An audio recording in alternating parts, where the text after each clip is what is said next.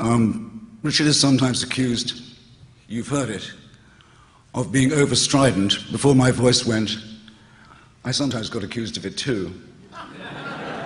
It's, um, it's a bit more reasonable in my case. I'm a sort of street fighting polemicist from way back. I ask for it and I get it and I can dish it out.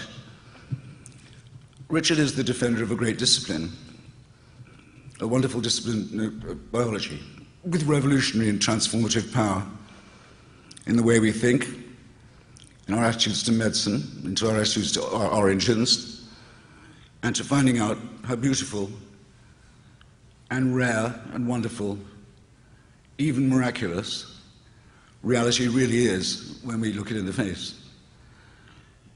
How should he not be strident? to see his discipline being attacked and defamed, to see attempts being made to drive it out of the academy, to have the uh, pseudo-scientific garbage taught now under the rubric of equal time. In the old days, the fundamentalists, if they could ban something, did ban it, as the Scopes trial proved. Losing that battle, they decided to go for equal time, an American way of fairness. Now they want it to be a sort of civil liberties and free speech issue.